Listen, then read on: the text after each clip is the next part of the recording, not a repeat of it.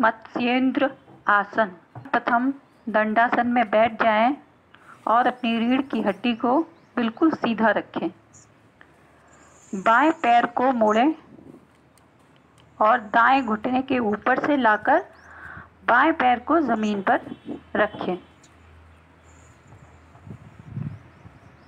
अब दाहिने पैर को मोड़ें और पैर को बाईं नितंब के निकट ज़मीन पर आराम से रखें।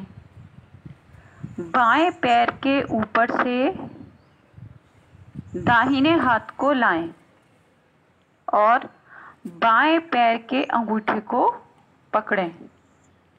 सांस छोड़ते हुए धड़ को जितना संभव हो उतना मोड़ें और गर्दन को भी मोड़ें, जिससे कि बाएँ कंधे पर दृष्टि केंद्रित कर सकें। बाएँ हाथ को ज़मीन पर टिका लें और सामान्य रूप से श्वास लें। कुछ क्षण रुकने के पश्चात अपनी पूर्ववत स्थिति में आ जाएँ और यही क्रिया दूसरे पैर से भी दोहराएँ। इस आसन को करते वक्त ये ध्यान रखना है कि अपने शरीर के साथ ज़बरदस्ती नहीं करनी है। यदि आपका धड़ पूरी तरह से आपसे ना मोड़ा जाए तो आप ज़बरदस्ती ना करें।